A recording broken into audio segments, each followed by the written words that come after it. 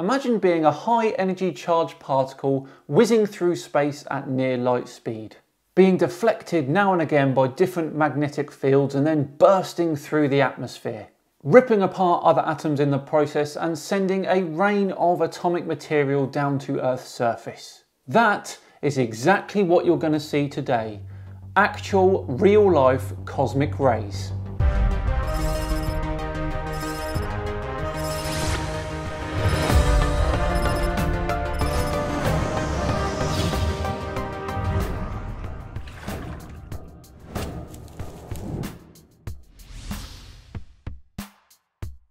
Hello everyone and a warm welcome to the SciManDan Show, the place where the sky is the limit, unless of course you're at escape velocity. My name is SciManDan, thank you very much for joining me. Congratulations, you've just won a trip back in time to the year 1912, taking a hot air balloon ride with physicist Victor Hess. During your ride, you talk about the weather, I guess, and you notice that the radiation in the atmosphere increases as the balloon goes higher and higher.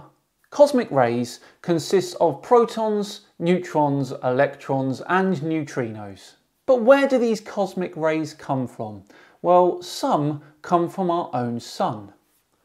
But the majority of them are from well outside of our solar system and perhaps even our galaxy. The truth is, we don't really know where these other cosmic rays are coming from. Most likely they're accelerated by supernova blasts of dying stars. But they could also come from quasars, gamma ray bursts, or even some unknown physics of some weird astrophysical object. You look at physicist Victor Hess, but he shrugs. The truth of the matter is they are here, and they're real. In fact, they're passing through your heart right now as we are talking. How do we know this? Well, we can use a cloud chamber much like this one here, to see them. You see, when these cosmic rays reach Earth's atmosphere, they collide with all the atoms contained within it, and the particles from that reaction collide with more atoms, and so on and so on until the cascading atoms reach the surface. One of the more common particles that are produced from this process is called a muon. These muons are like electrons, negatively charged but a bit heavier and it is these muons that we're going to try and detect today with our cloud chamber. So I've already prepped the tank by sticking the felt to the bottom like so and once that's all dried you need to soak that felt in 99% alcohol which I'm going to do now. So you've really got to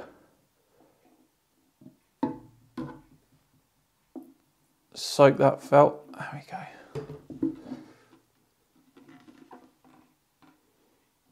go. Perfect. Okay, so here we have some dry ice or frozen CO2. Please make sure you do this in a well ventilated room.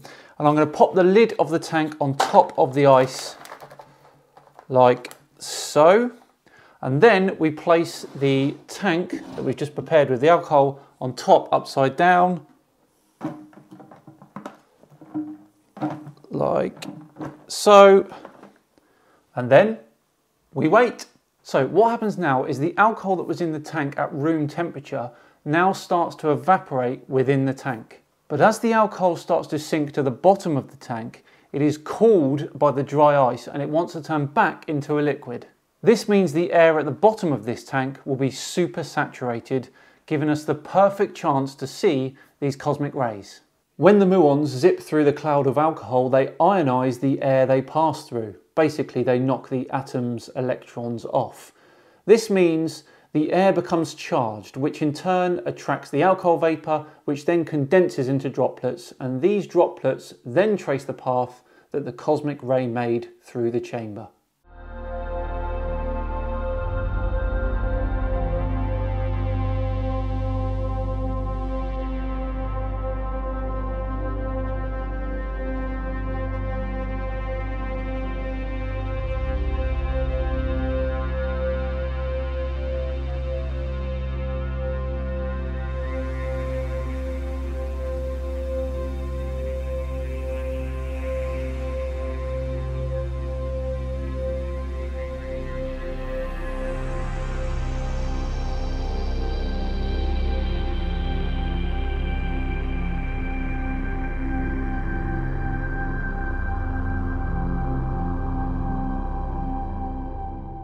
Now the absolute cherry on the icing of this cosmic cake is these muons prove Einstein's theory of relativity. You see, these muons should be decaying into much smaller particles within about two microseconds of being produced.